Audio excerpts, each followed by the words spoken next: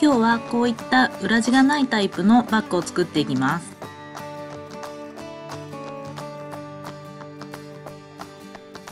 薄手なのでエコバッグの代わりなどにも使えると思います。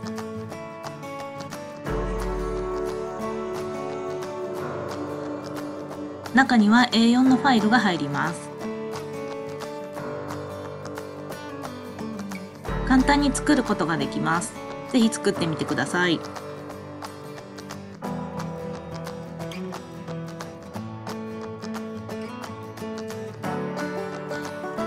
用意する材料はこちらになります。材料は概要欄にも記載してあります。本体の布2枚縦 44cm× 横 35cm 持ち手の布2枚縦 60cm× 横 7cm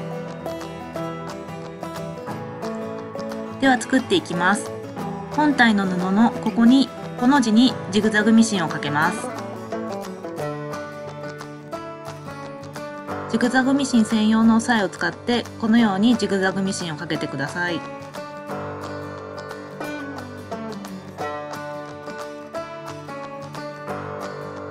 このようにジグザグミシンがかけてあります。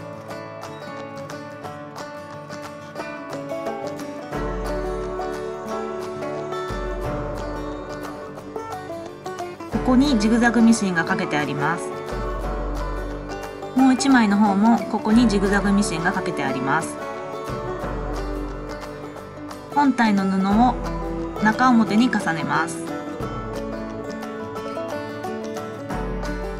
縫う時にずれないようにクリップで留めます。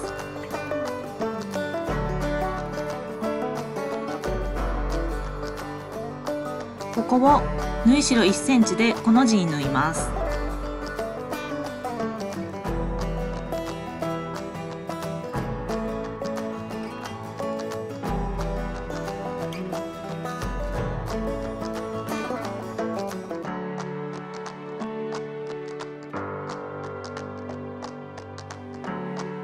次に持ち手を作ります。持ち手の布の両端を1センチずつ折ってアイロンを当てます。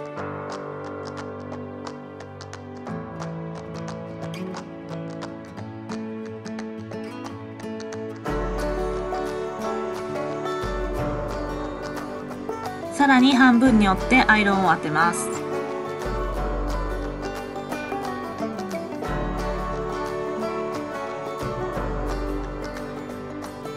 にアイロンを当ててあります。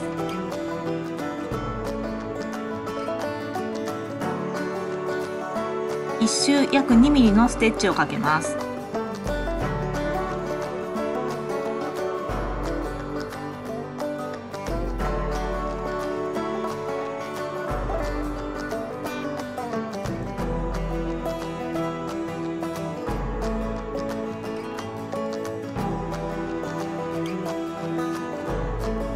にステッチをかけてあります。2本持ち手を作ってください。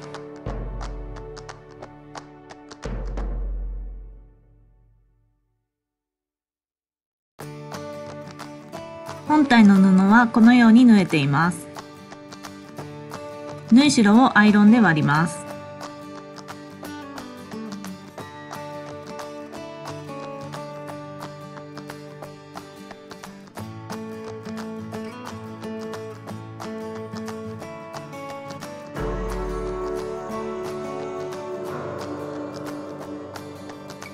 ように縫い代を割ってあります。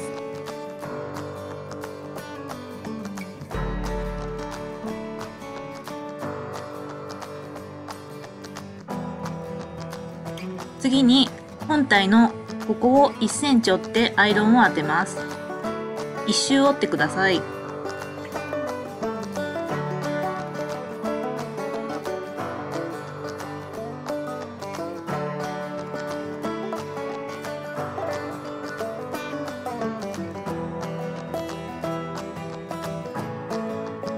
のように1周折ってきました。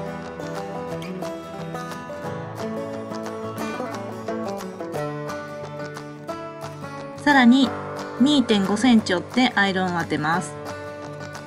今回は2.5センチ折ったんですけど3センチとか4センチでも問題なく作ることができます。今回は2.5センチで作っています。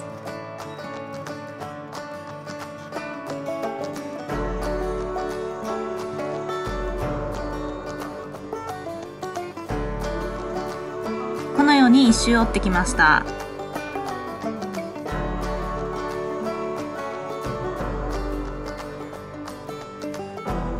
持ち手をつけます。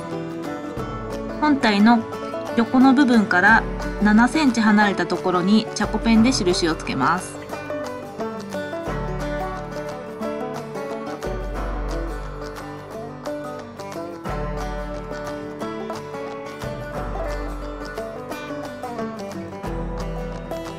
本体の横のところから7センチ離れています。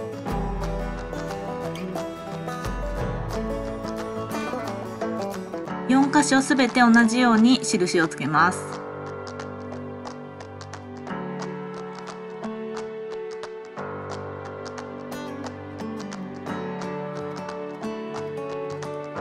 ここに印がついています。持ち手をここにこのように入れます。クリップで留めます。紐がねじれないように注意しながら反対側も同じようにクリップで留めます。4箇所同じように持ち手をつけます。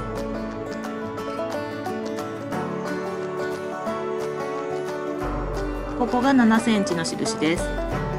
このようにクリップで留めてあります。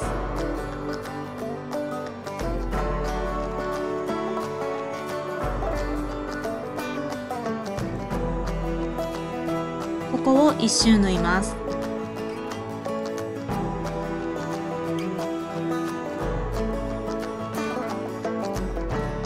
このように持ち手も一緒に縫っていってください。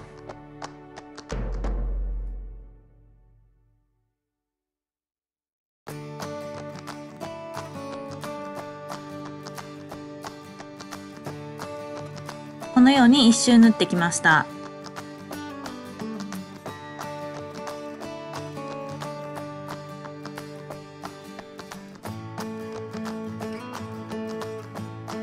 次に持ち手をこのように折ります。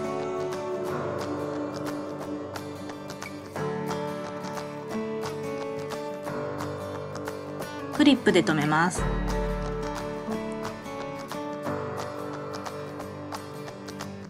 反対側も同じようにクリップで留めます。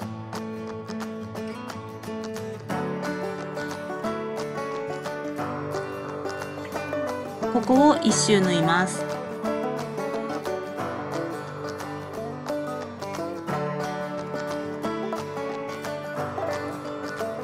持ち手も一緒にこのように縫っていってください。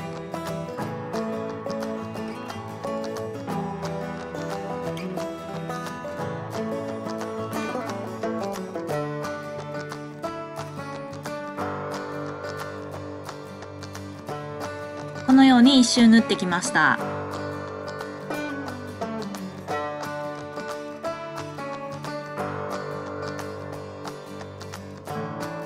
表に返します。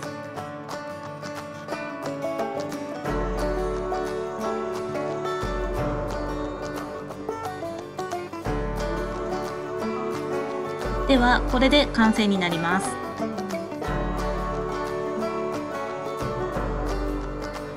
今日はこれで終わりになります。ご視聴ありがとうございました。気に入っていただけた方は高評価チャンネル登録お願いします。左上の丸いところからチャンネル登録ができますのでぜひお願いします。